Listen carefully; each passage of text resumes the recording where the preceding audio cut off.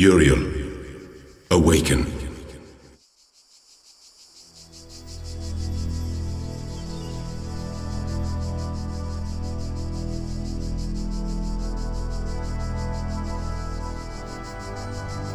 Hear me, Uriel. The end of days is upon us. The process is complete. The world will be consumed, and my children will ascend. As it should be. But, Uriel, I have made mistakes. Out of arrogance, out of fear, I sinned against the process. I cast out those who opposed me, imprisoned them in a place beyond this garden. Now they are trapped, and they cannot ascend. All that they are, all that they know, will be lost. But I cannot free them. They are beyond my reach now. What I ask of you, my beloved messenger, is a terrible sacrifice.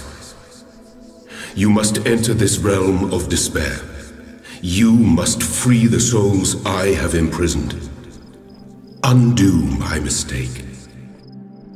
I have opened a gateway and granted you the gift of time. Uriel, I... I'm sorry. I wish there was more I could do. Please, save them.